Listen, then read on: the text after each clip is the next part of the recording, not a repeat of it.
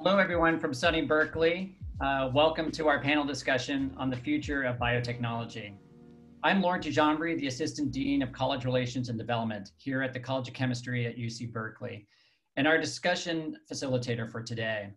Today's event represents the launch of our new Berkeley Biotech Pharma ecosystem and of our greater initiative to introduce you to our Berkeley ecosystems.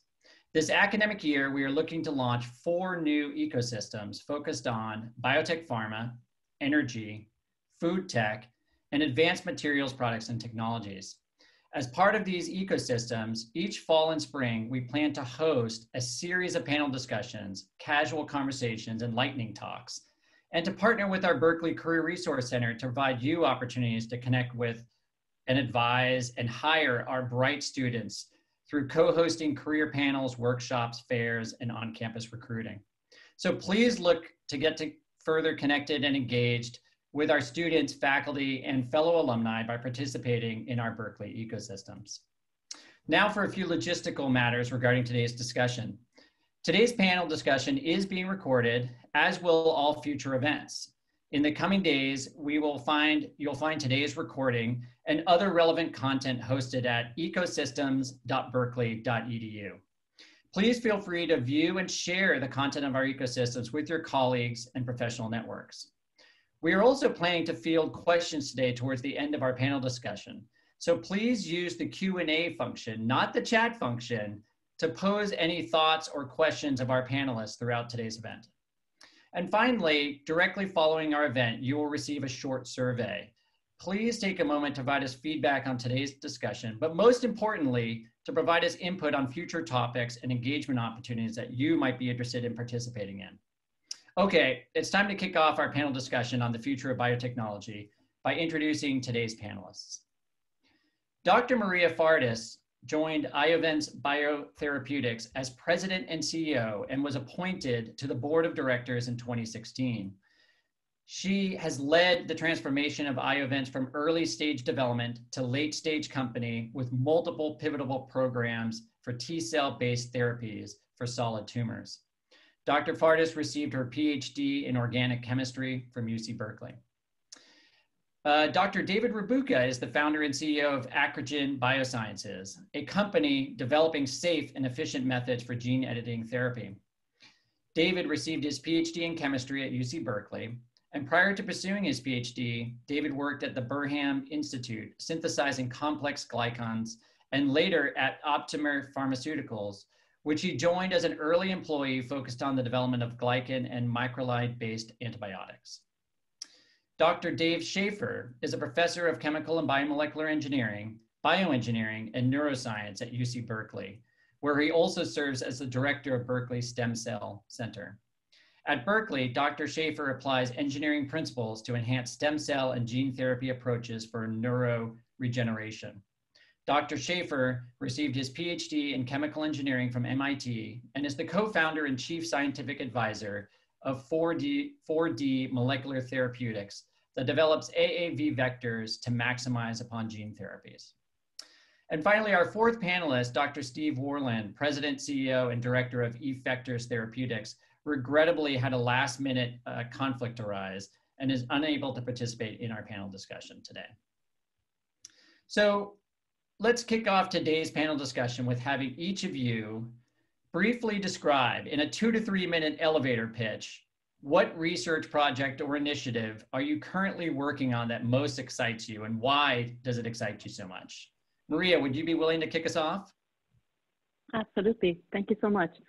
Um, Iovance is working on cell development of cell therapies for solid tumors. Some of you might have um, monitored the landscape of treatment. We started some few decades ago with focus on small molecules, um, even started with natural products. I worked, um, I was a medicinal chemist, and so I worked on a number of different small molecules for antibiotics or various um, HIV, HBV, HCV project in a company in Bay Area called Gilead. And then over the course of the decades, we've watched antibody development really blossom and we moved to antibodies becoming standard of care. And um, really that, that, was transformative in terms of uh, tools that we use for treatment of various diseases. Um, a, a, new wave of therapeutics has been cell therapy and cell and gene therapy, and I think my panelists are also going to talk about a very similar story. So cell and gene therapy concepts have started with an autologous concept, which is our own cells, either from a genetic perspective, gene therapies, you know, change those cells. And in case of cell therapies, which is what we work on, is we use the, the same cells from patients. We believe that our own immune system has the capacity to fight certain diseases such as cancer. We amplify these cells and we rejuvenate them outside of human body, and then we put those billions of cells back into the patient. So Iovance is in the business of developing cell therapy for specific cancers. We are focusing on melanoma as our first indication, and then subsequently on cervical, head and neck, non-small cell as subsequent indications. That's fascinating, Maria. Um, David, do you want to answer uh, what, what project or initiative are you currently working on that excites you most and why? Um, sure. Um, I'm, I'm actually going to give a handful of projects because I've got a, a, number of things that excite me, all, all, all super interesting. So when I, after I finished my PhD at Berkeley, I started a company called Redwood Bioscience with Carolyn Bertozzi, and it was a, a conjugate company. Um, and we, over the next few years, ended up developing some um, interesting uh, cancer drugs. The modality is uh, antibody drug conjugates. So we're basically, we were basically chemically tethering very potent, um, very potent cytotoxins to, to antibodies that would specifically target uh, proteins overexpressed on a tumor, for example. Uh, and so we started that company and eventually it got acquired by Catalent uh, Pharma Solutions and I stayed on there for a number of years uh, and during that time, we were able to go through sort of the regulatory manufacturing and some of the, the challenges of drug development. And we now have some of these conjugates now uh, in the clinic um, and uh, targeting, um, so uh, targeting bloodborne cancers. Uh, so that's been really exciting. And I still, I still uh, consult for Catalent and I work with Catalent on those projects. Um, in the meantime, I also I started working with uh, Berkeley Catalyst Fund, which I have on my, on my backdrop. And that's a super interesting uh, small venture fund that is very focused on uh, helping uh, ideas be translated from the benchtop to, to, uh, you know, to products, uh, specifically focusing on the, the College of Chemistry at UC Berkeley. And so um, I'm a venture partner there. And, and the fun thing about that is I get to see a lot of very cool ideas coming out of the, out of the department. And uh, and if I can help them uh, build companies around that, I will.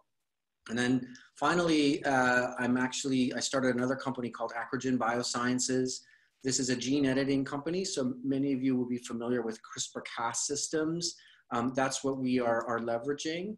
Um, my co-founder is a professor out of UCSF called Joe Bondi-Denemy.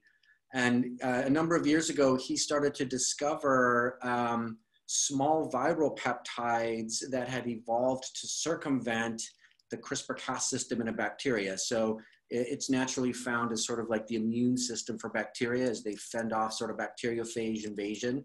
Um, and so the viruses again promptly decided to evolve uh, ways around that. And one of the systems they evolved are these small peptides.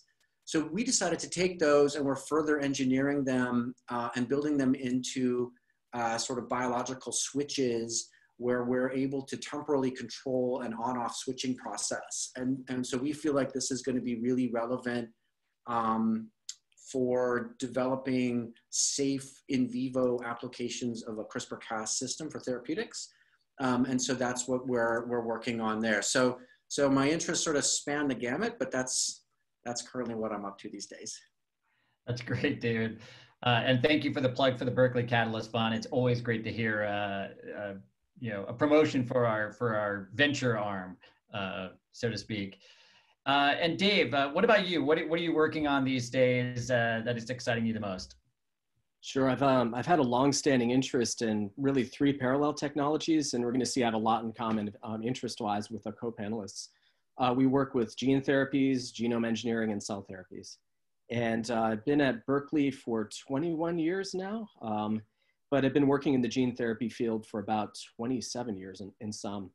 So in general, we, we like taking on what would be viewed at the time that we start at least working with it, high risk technologies and uh, trying to, to apply engineering principles and molecular engineering concepts towards uh, solving problems within these fields. And then I also, once the, the field is sufficiently mature, the technology is ready, I really personally enjoy being involved in the transition of that technology from the, uh, the, private, sec the private sector into the public sector, sorry, from uh, academia into industry. And so I've uh, personally uh, co-founded six companies, and maybe I'll tell you a little bit more about one of these, 4D uh, Molecular Therapeutics, which you mentioned in, in the intro. That was based on technology that I started in the College of Chemistry back in 1999 when I, when I started my lab.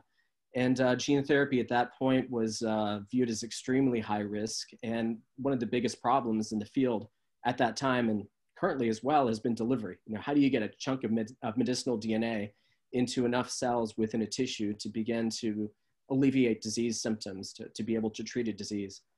And the delivery technologies have um, progressively improved, and we began to develop a platform for doing so in a very effective and high throughput way. So another alum from the College of Chemistry, uh, Frances Arnold, uh, who graduated from chemical and biomolecular engineering with her PhD back in the 80s, uh, moved on Nobel to laureate. Caltech. I'm sorry?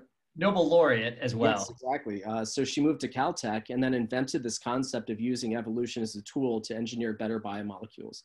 Uh, this concept of directed evolution, where you artificially create a very large gene pool um, encoding a particular molecule and then perform high throughput functional selections Darwinian selections to, to isolate the fittest. So for this, like you mentioned, she won the Nobel Prize in Chemistry in 2018. So we began when I got to Berkeley um, in 99, applying that concept to problems in gene therapy and started taking viral vehicles, which at the time looked somewhat promising. Uh, so specifically this virus that nobody's ever heard of because it's not a human pathogen uh, called adeno-associated virus or AAV. And we started using genetic diversification tools to create a library, which now in sum totals about a billion new variants of AAV. And then we perform high throughput selections, typically in vivo, to identify the best ones to be able to deliver DNA to any, in principle, cell or tissue target in the body. So once we have that highly optimized delivery vehicle, we can load it with a chunk of DNA medicine and deliver it to those tissues to begin to try to treat disease. So uh, this, this technology was spun into the, uh, into the private sector back in 2013 when I co-founded with another Berkeley uh, alum, uh, this company 4D Molecular Therapeutics. And so seven years later, the company has grown to almost 100 people. We have two human clinical trials and a phase one, two clinical trials that we recently initiated. And we look forward to beginning to get efficacy data out of those trials within a matter of the next several months. Wow, very exciting stuff. I mean, all of you are, uh, frankly, on the cutting edge of, of biotech pharma, and, and clearly why we have you uh, today as our panelists. Uh, there's some exciting things going on. Um, let's take a moment to talk about macro trends. Um, I'd just be curious from your guys' perspective. You have a lot of experience in biotech pharma.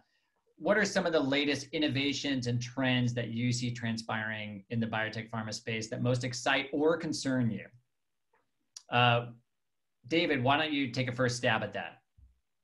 Um, sure. So, so one of the things that I am very excited about is um, how synthetic biology tools are starting to come into their own and to be sort of uh, leveraged in, in very practical ways, certainly in the materials space. Um, but the food science has got me very excited as well. And so I think we've seen like an explosion of really interesting uh, companies developing uh, some some nice alternatives to what you know we what we'd seen in the past. So I think that that's been pretty interesting. Then that ties into sort of uh, biomaterials and biomaterials being leveraged in spaces that um, previously no one had really gone after, uh, and you're starting to see those evolve. Um, and grow and get capitalized to be perfectly frank people investors are now willing to put money into that. So so i, I like that a lot.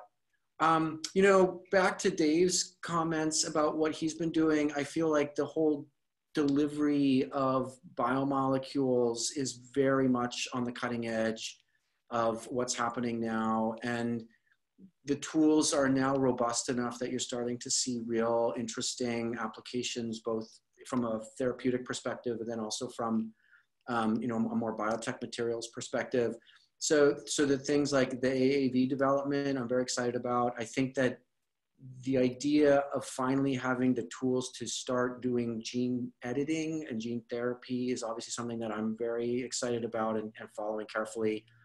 Um, and then not just so just the other big one of course is cell therapy i think has just really exploded. And well, was obviously we hear a lot more about that today. Um, and i'm very excited about the promise of that.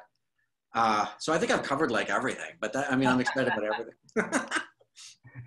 Well, I'm sure Dave and Maria will have stuff to add, but and and also, uh, you know, that is one of the reasons why one of our first initial uh, ecosystems is focusing on food tech, because the food science area is really exploding, and there's some fascinating new innovations there. So we hope to host uh, future panel discussions as part of that ecosystem on food tech. Uh, Dave, what, what would you add to kind of the the macro trends at play now? Sure. Well, I, I, feel one very powerful set of technologies is well represented within this panel. That if you take a look at the history of pharmaceutical development, of course, the field started out with small molecules.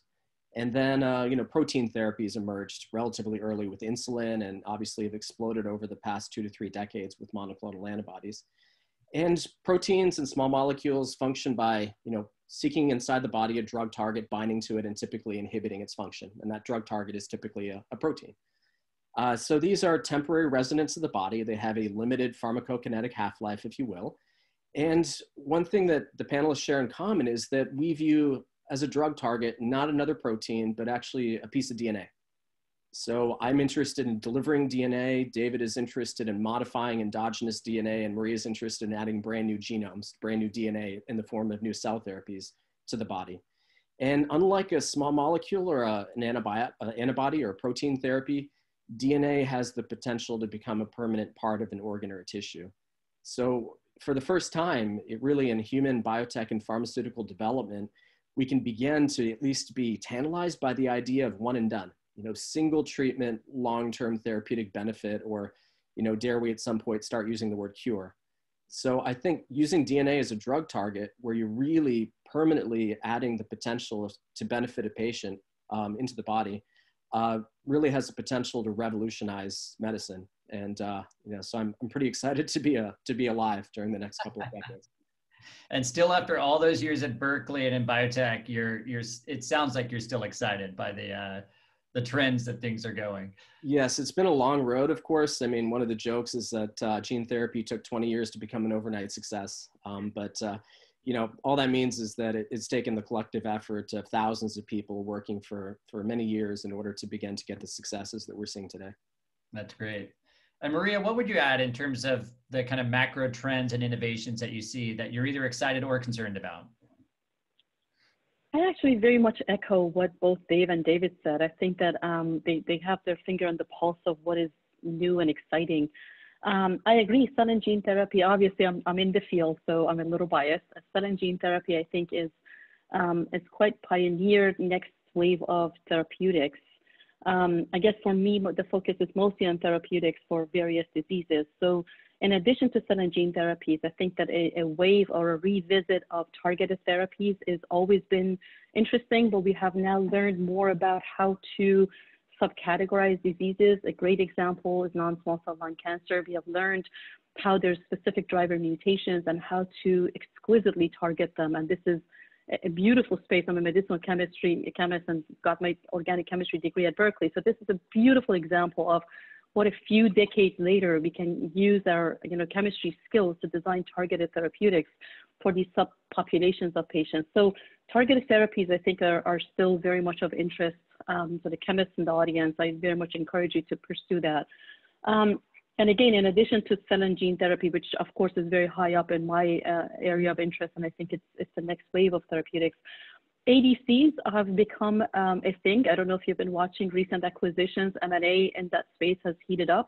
There's a lot of interest in antibody drug conjugates as therapeutics, and I think that these are also very exciting next generation products that are coming into market.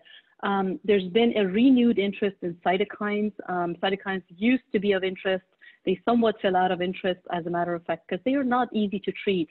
But I think what we have learned as a general therapy is um, we, for the longest time, we were going for very safe and effective therapeutics, so things that are oral once a day.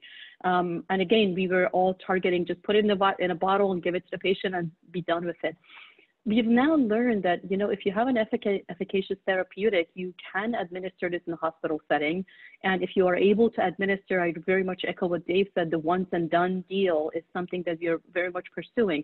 So in light of being able to have some degree of tolerance for adverse events and being able to manage those um, therapeutics like cytokines have come back and they're be- becoming again a, a target of interest so collectively, I think we're very interested in um, complicated therapies. We have gone from a more simple therapeutic, one target, one you know medication, put in a bottle, give it to the patient, or infuse it IV to much more complex therapeutics uh, administered either um, at a site of care in a hospital or you know send the patient home and still monitor for adverse events and uh, and so forth. Um, hopefully that summarizes it a little bit.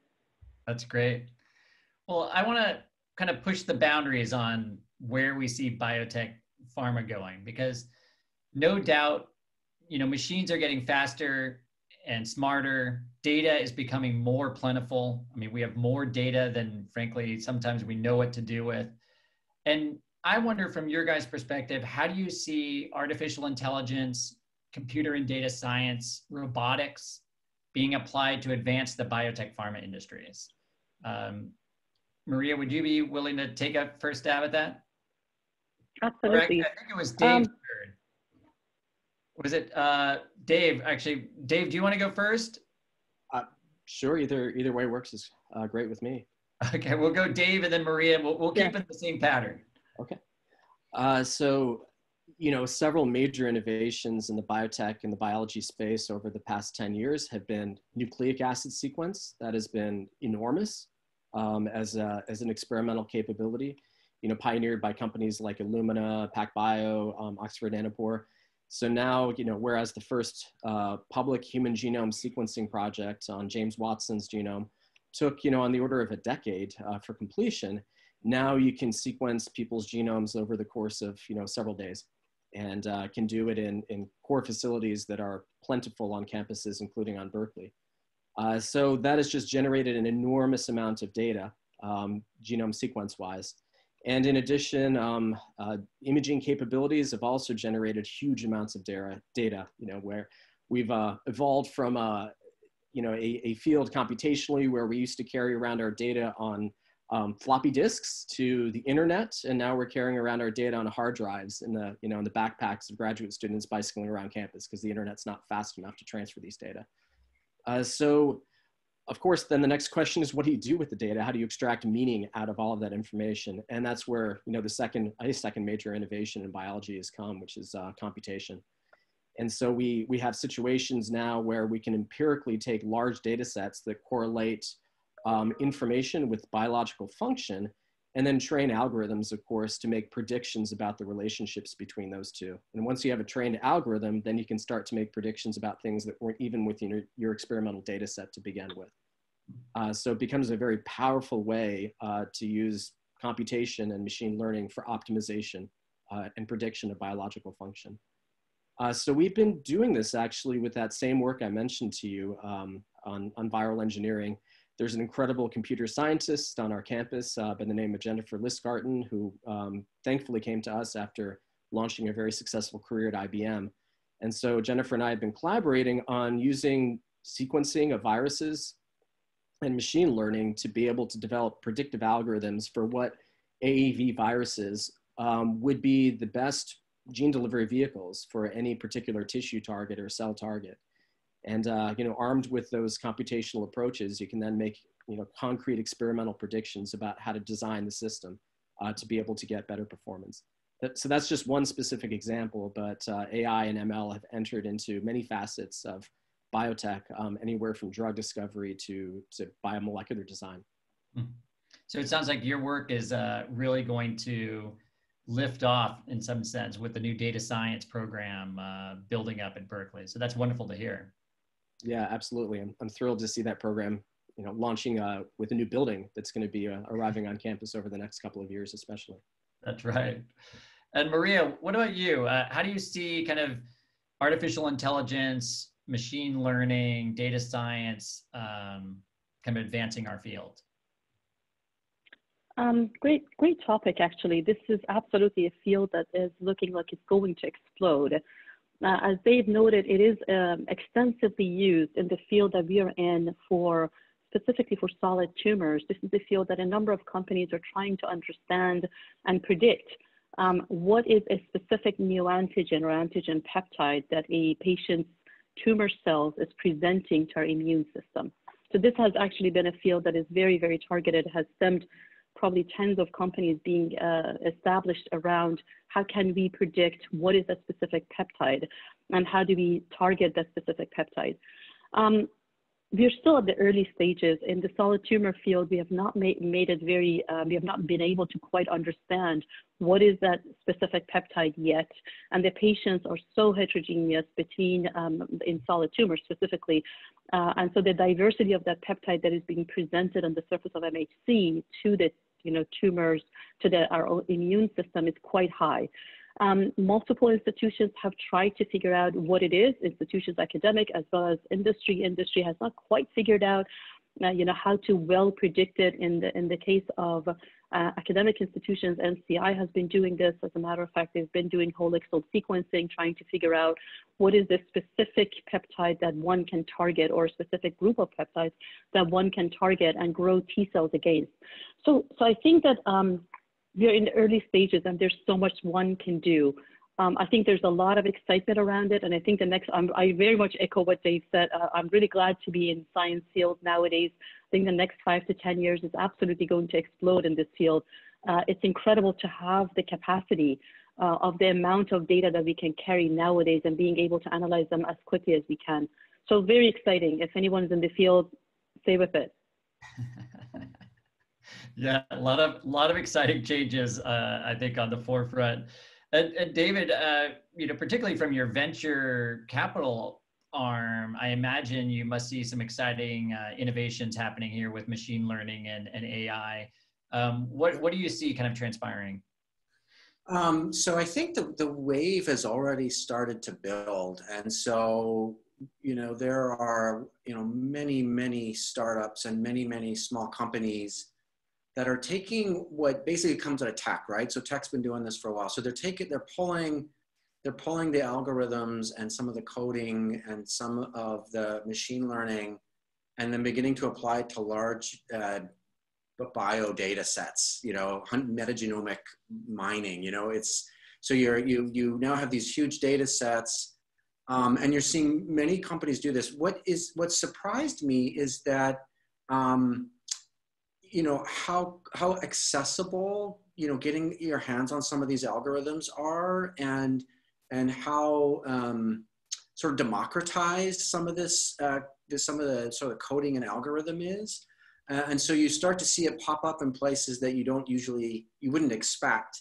Um, and i'm certainly seeing it in in drug discovery um, you know, kind of going all the way back to combinatorial chemistry and then pulling out those big data sets and starting to think about those, being able to like uh, run and explore very large data sets around uh, biological pathways, um, very, very powerful tools. And, and so uh, I'm, I'm super excited about this. I, I, am seeing a lot of very innovative uh, entrepreneurs start to make these um, connections between um, you know, very disparate fields and then combining them into things that are going to be really, really powerful.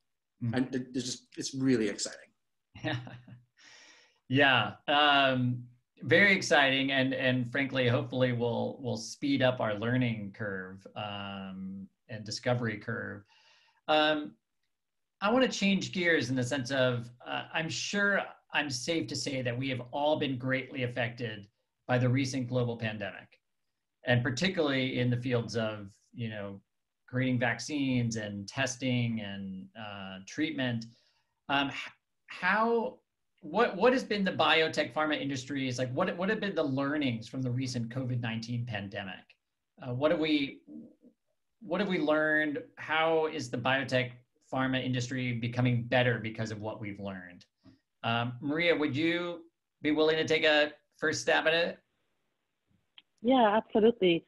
Um, I think we have learned a lot. We have learned um, that remote employees can still be effective. We have always done this, but not to this massive degree that we are doing today. We have learned how to make sure that we have infrastructure to support everybody being remote. Um, we have learned on the operational level, we have learned, we, we run clinical trials, and so it, a real problem has been you know, patient retention and assuring that they're able to be assessed in this schedule that is called the schedule of assessment per our protocols. We have learned to uh, allow these patients to be assessed remotely, and we have learned what else we need to do for these remote assessments to be successful. Um, in many of our diseases, we have to have central read of scans, and so these scans have to have a certain quality, for example, and a site that may be a remote site may or may not have that same quality of assessment. So we need to learn how to be flexible uh, in terms of availability of the data that ultimately becomes your primary endpoint of the studies. We have learned that we um, have always historically wanted our data to be monitored 100%. Um, it's called on-site monitoring. We have learned that we have to figure out how to adapt and we will not have 100% of our data monitored. There has always been this concept of risk-based monitoring, but we haven't really adopted that as an industry heavily. and so we, we are now sort of thinking, okay, we should go back and polish up those risk-based monitoring guidances that FDA has put before us. And we haven't really, as an industry, adopted it heavily yet. Um, I think we have learned, and I think FDA supports that, is um, how to handle missing data. We are going to have missing data. A patient may or may not want to come back to a clinical site. Uh, in light of the fact that we have a one-time treatment that we offer, uh, it's not a chronic therapy. This is an even more complicated challenge because the patient may receive the therapy and chances of them coming back if they're feeling well um, is low. And we have to understand how do we address this? This is actually a story of success. How do we address this with regulators and how do we assure that we are able to give them enough data to convince them that if a patient didn't come back, it may or may not be due to progression or anything else. It may be due to the fact that they're benefiting from the therapy. So it's been it's been quite wide in the sense of you know there's employee factors to it. There's the um, a morale aspect to it that we're not there all at the same time anymore. We don't see each other. We can't walk to each other's office and sort of have a chat uh, uh, sort of spontaneously. And unfortunately, we are missing those human interactions. But at the same time, we have learned um, and we continue learning how to get the business continuing and, and move forward. And I think that we have learned that there's gaps. There's gaps in our process of data collection, data verification, and provision to regulators, and we need to figure out how to address those in the upcoming years. Hmm.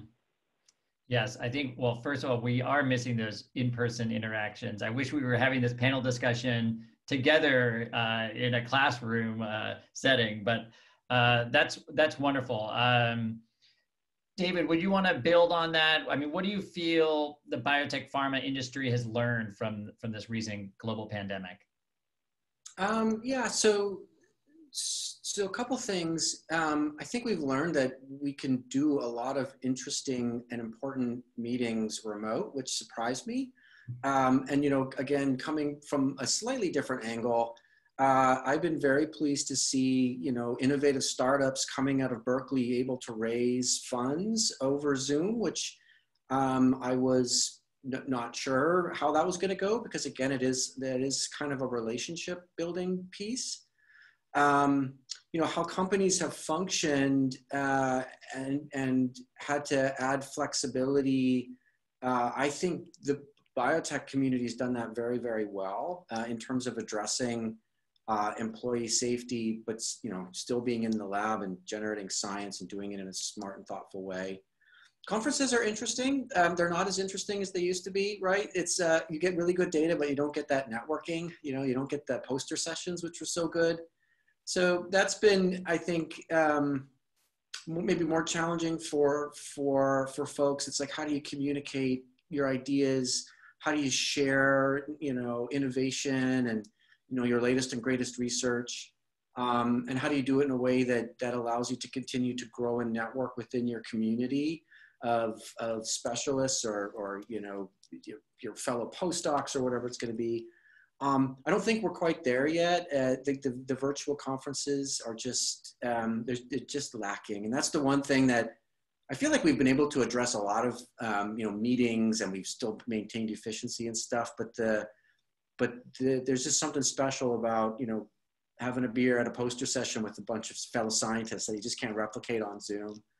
Um, So that's that's you know that that is what it is, and, and that'll continue for a while. But um, I think the challenge is going to be how do you how do you how do you build collaborations? How do you build a community, a network of of of of, of scientists where there's like a a meaningful back and forth exchange of ideas like a whiteboard like a virtual like the virtual whiteboards don't seem to work that well you know what i mean? It's like you just want to be all around uh, a table kind of talking.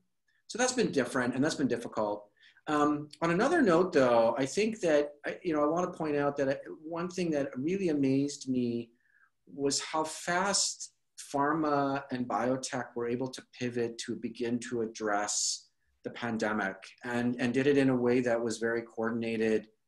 Um, and, you know, they really were able to throw resources behind, um, you know, programs to move them rapidly. I, I think that's been unprecedented at least that in you know in my lifetime seeing that kind of coordination and, and i think that's that that's been really exciting to, to watch um, and again overcoming just a lot of hurdles and there's a lot of people a lot of groups a lot of different countries um, you know all coordinating uh, and really focusing um, on, a, on, a, on a very pressing problem uh, and i think that that you know that that um, really reflects well on our industry, right? At the end of the day, you know, if we can manage and uh, pull our, our intellectual horsepower and know-how together to solve big problems for for humanity, I think that's you know that's a great outcome, and that's what we all want. So that's been fun to watch from the you know just the industry rallying around a, a very big problem. Yeah, yeah, it's a it, it is exciting to see, uh, in some sense, the horse race right now that's going on to see uh, who will produce the, the, the vaccine that will have the the biggest, uh, you know, uh, change for our for our health um, uh, globally. And and David, I just want to make sure, you know, next time you're on the Berkeley campus and we don't have to wear masks, I'll buy you that beer. Okay, I promise. awesome. Uh, perfect. Uh, Dave, what about you? What have you seen from your perspective of how the industry has, you know, what, what have we learned or how, what, what do we need to learn uh, from this global pandemic? Yeah, I guess uh, one, one minor uh, follow up after a comment that David made that I liked, uh, which is that I think, in, you know, we're in Zoom all day, right? Uh, in Zoom with, with colleagues on campus, with, with companies that I interact with and a lot of those sort of pairwise or small number of people meetings I've found to be reasonably effective still. It's when it gets large that it's it becomes really un, unwieldy. So how do you have a happy hour online, for example? Um, we all see it, but you know only one person out of 30 can talk at a time. It's just not the same. And then in addition, you know, we saw, you know, about 10 years ago or so, there was this discussion about MOOCs, you know, massively open online courses. And this was going to completely change the way that education was delivered in a way that you know we, we might in some cases question the university model for education if you could deliver this all online massively. And that never panned out because people learn better in person than they do remotely disconnected on a computer. And so there's you know for large gatherings um, yeah there is no substitute um, i also wanted to to you know further um, provide some thoughts on that discussion about advances in the technology in the field and I, you know, I almost get a sense that the biotech and pharma fields didn't know how good they had become. And the, the way that people used to decide on designing the flu vaccine is that, you know, they're on order of 100 surveillance centers across the globe that collect influenza strains and um, twice a year, once for the nor- northern hemisphere, once for the southern hemisphere. They distribute these samples to the World Health Organization and they make some decision or judgment about which ones are going to be the dominant strains that year and then design multivalent vaccines uh, to, to address them. And historically, they would then ship these vaccine, you know, influenza materials for manufacturing in, you know, cutting edge processes such as putting them into chicken eggs. And there was a huge mobilization to be able to get enough dosages together to, to treat the world. Um, that's completely changed with, with modern, you know, nucleic acid technology and molecular biology. So I think it was January 11th when investigators in China first reported a sequence for the coronavirus, for SARS coronavirus 2. Within, and I'm just going to pick on Moderna for a second. Uh, it was a company that was co-founded out of my, uh, my alma mater, MIT, uh, by biochemical engineer Bob Langer. And so within two days, they'd already chosen what the sequence would be of their nucleic acid vaccine. Within three and a half weeks, they had synthesized the first batch of it for human clinical testing And within six weeks, it sent that material to the, uh, to the NIH, one of their clinical sites, to initiate the phase one. And so now there are seven vaccines in a in phase three clinical testing, including Moderna's and, and Pfizer's, which are prob- Pfizer appears to be the most advanced. And uh, both of these are based upon synthetic nucleic acids, where you get a sequence over the web, you synthesize it um, from DNA and then and then RNA transcription, and uh, that becomes your molecular medicine. So compared to how it used to be done, it's just greatly accelerated and empowered by by modern biology and biotechnology. So I'm sure that all of us have our fingers crossed that once uh, January, February rolls around, we're going to start seeing vials shipped um, broadly. But uh, I don't think anybody would have imagined that that could have occurred within a year of the, the discovery of this this uh, this pandemic. Yeah.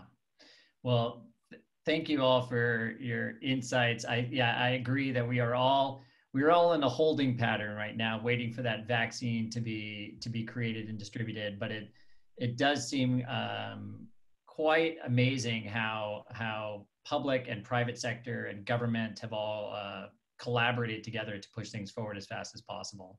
Yeah, I think um, I think yeah, what gets lost in the discussion a little bit is just how how amazing that process has been. Just to reiterate what what Dave said, because I, I feel like sometimes the general public doesn't fully like they're just not they just aren't informed on what a what a, a typical trial would look like and and and and you know the resources involved and so they're seeing it for the first time in the bright lights and it is worth emphasizing, I think, to people just how incredible uh, this process has been and the progress has been. Because I, I, feel like, you know, maybe the industry is not getting a lot of credit right now. They're getting beat up a little bit about this, but it's like they should. This is. It's been a pretty amazing journey to watch.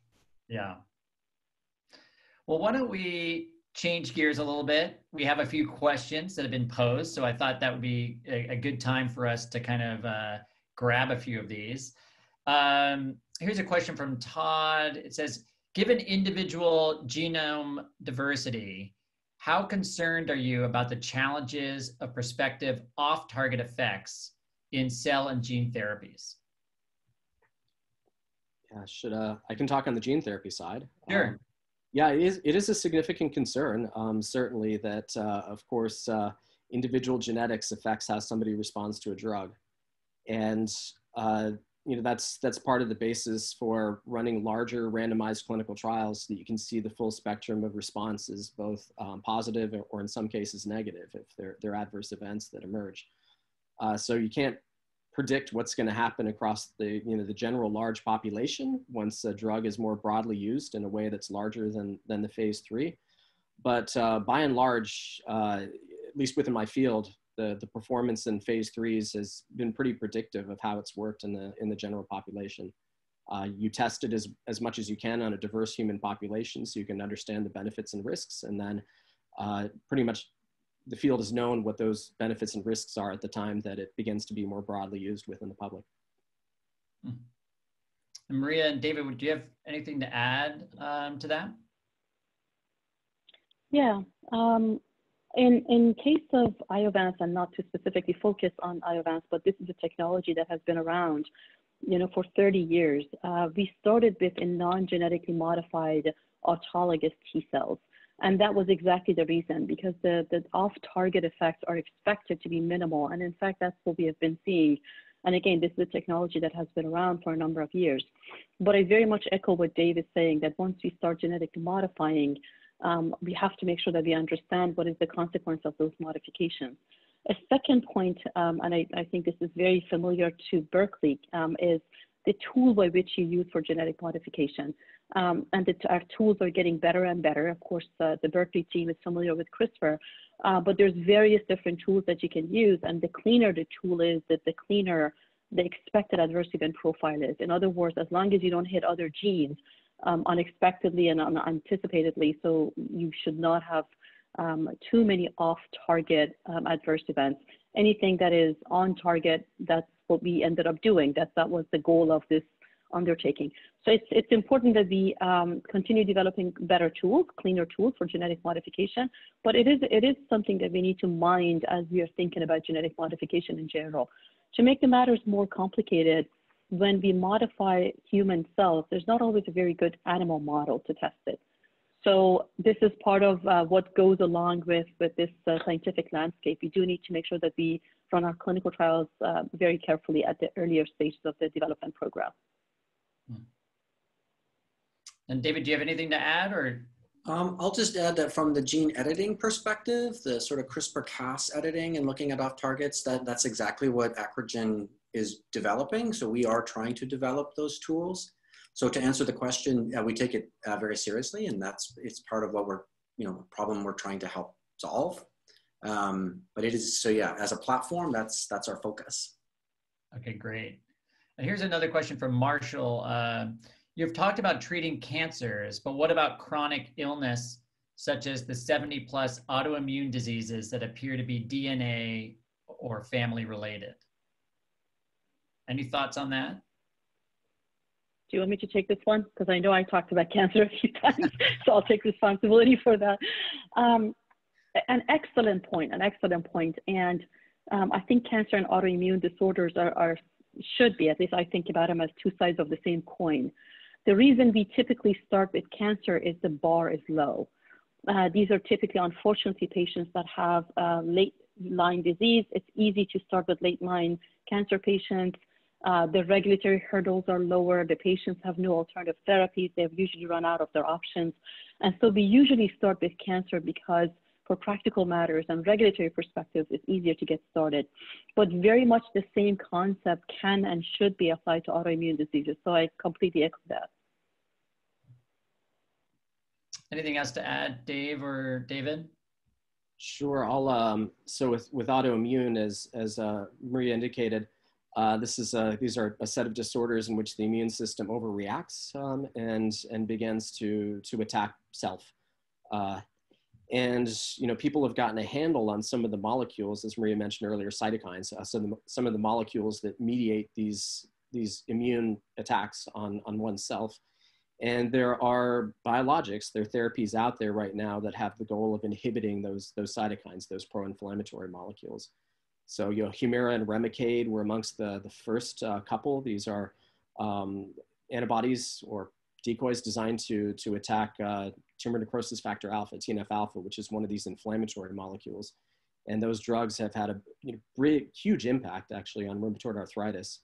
And now there are additional anti-cytokine therapies that are coming out to be able to treat conditions like psoriasis or, or eczema. One direction I'm particularly excited about is that these um, antibodies are typically, you know, injected systemically into the bloodstream and can have, have side effects as a result because they're acting not just in, let's say, the joints of one's legs where you would need them to be to, to protect against rheumatoid arthritis. They're having broad systemic effects. So the idea of local delivery or let's say local gene therapy, where you can actually deliver the DNA encoding these, these inhibitors directly into the affected tissue raises the possibility that you could have a safe and efficacious therapy with a, with a safer profile. So I think these are just steps along the way towards engineering next generation therapies to be able to treat conditions you know, such as autoimmune disease. Yeah, and I'm seeing something similar in the antibody drug conjugate space where I, I mentioned earlier cytotoxins as the payload. Um, but there's a number of groups and companies working on targeting um, other uh, drug moieties to, to tissues like to, to, joints and things like that. Um, and so there's a, a wave of conjugates that are moving outside of, of oncology. And again, I think you started with oncology because the bar was a little bit lower to Maria's point, but now you're starting to see a diversity of applications. And, uh, you know, even in the Bay Area, there's a handful of companies that are working on this sort of targeted approach through um, developing cool conjugates, which is uh, pretty interesting. So let's turn to a question from uh, Todd here. It says, biology disease is so diverse. Do you see the potential for large application companies in life sciences? Will there be, will there be applications as large as Excel Word in life sciences? Who wants to go, uh, who wants to take a stab at that? I'll, I'll go, I'll go because we pay the price for. Okay. Sometimes it's painful not to have, yeah, not to have sufficient infrastructure. Um, I think one of the um, platforms that is missing as we are thinking about particularly cell and gene therapies, um, if we stay in the autologous space, is to identify patient's material.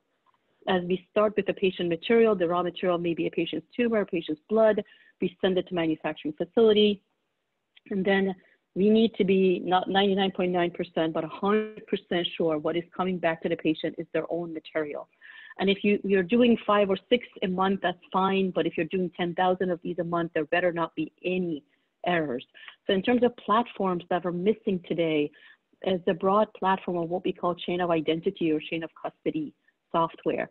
And these are softwares that um, have to talk to a lot of other platforms within an organization to be able to say, I received the material, this is the same patient's material, it's in the manufacturing process. It's literally putting a GPS on that cells of the patients all the way through from the beginning all the way to the end.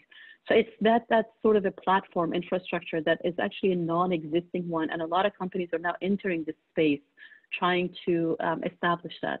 Of course, if you're doing an allogeneic, you may not need that degree of control, but I still think that um, it's a platform that is really in need of broad development for cell and gene therapy platforms. Dave or David, would you guys like to add something here? I guess I'll uh, probably just add, you know, 10 second comment that reinforces something that we talked about earlier, which is data management early in the discovery process is becoming challenging. You know, if you're generating terabytes worth of data, it becomes really hard to store, organize, and especially visualize that.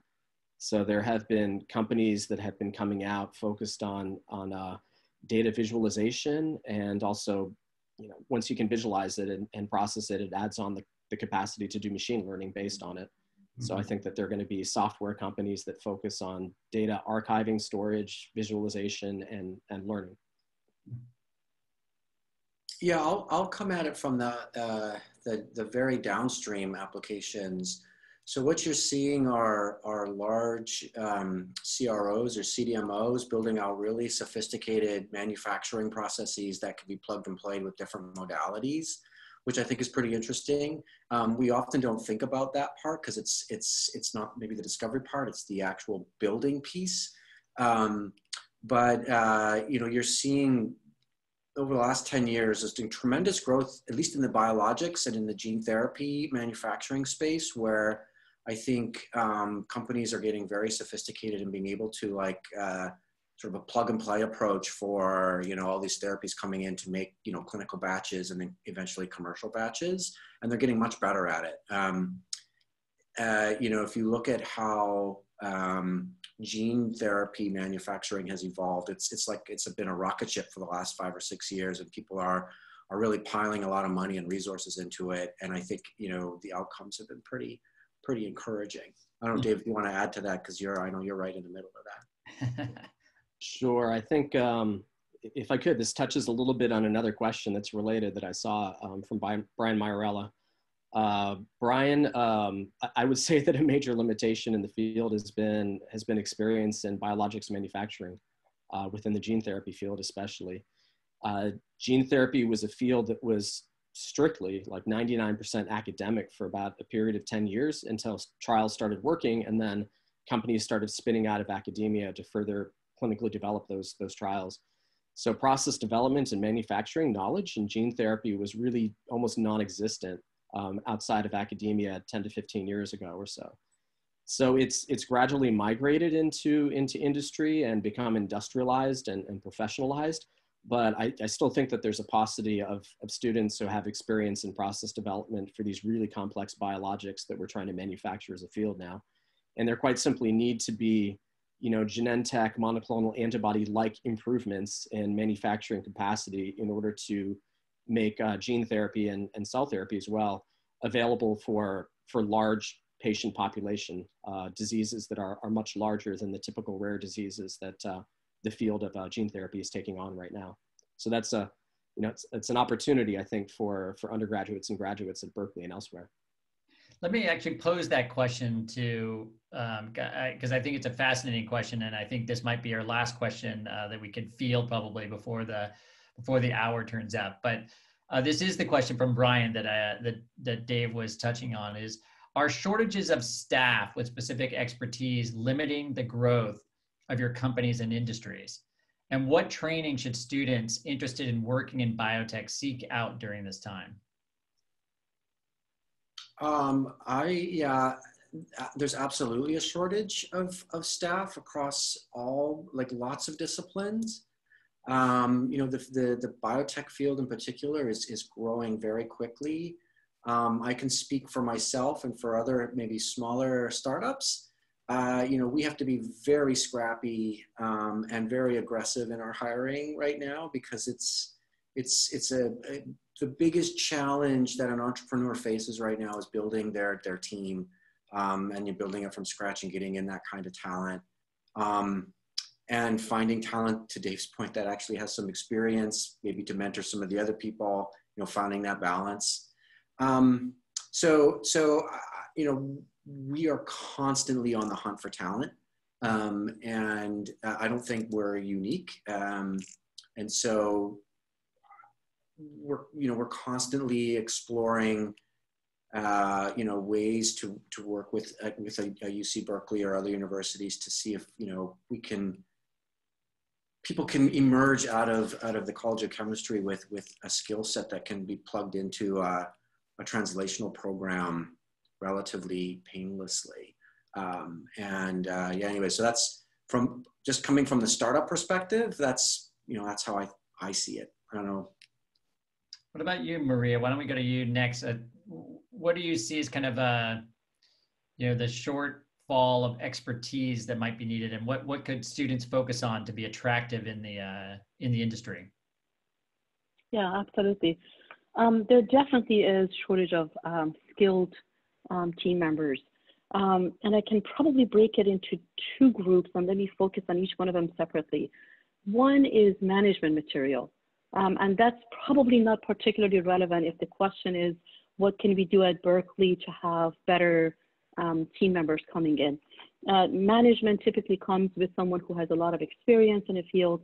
But I think one of the things that I personally found particularly helpful is that um, analytical thinking and decision making.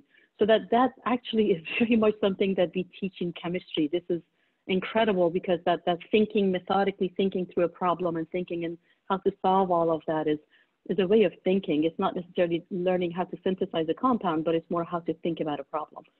The second tier is I very much echo with what David is um, highlighting is the basic um, team members that we might use in a manufacturing facility or in our R&D labs. And I think what is really missing is a, a lot of basic immunology training, but at the same time, um, aseptic process, so sterile techniques is something that almost no one comes out of school knowing what is sterile technique. It's not something that is methodically trained. And a last item that is not methodically trained is GMP. Um, what is what is working in a GMP environment? So if I had to work with uh, Berkeley, and by the way, we have a manufacturing facility that we are building in Philadelphia. And so we are working with the Philadelphia um, schools, the, the network of graduate program as well as undergraduate programs. These are things that we ask them to please include in their coursework and their training. Uh, we, we, we, I mean, we train our team and we train them usually three to four months to just teach them basic aseptic skills and GMP manufacturing process. Um, I think those would be the two that I would highly encourage if there is the opportunity to add into the curriculum to be included.